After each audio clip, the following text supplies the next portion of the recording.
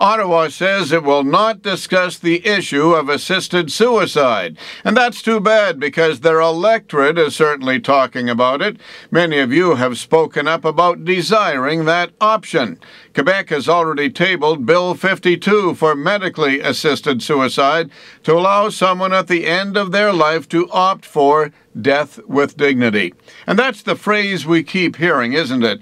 Death with dignity. It's a good catchphrase. It sort of rolls off the tongue nicely.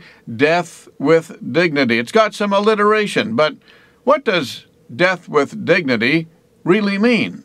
I have a heartfelt letter from Mary in Sherwood Park. She takes great offense at the term death with dignity.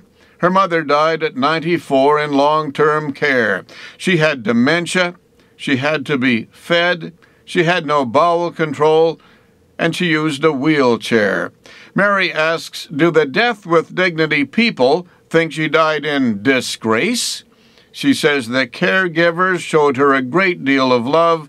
They looked after her, they cared for her, and then they kissed her goodbye, and the angels came. Mary asks, At what point did her dignity end? Now I invite you to ponder this, and then let me know what you think. I'm Bob Layton.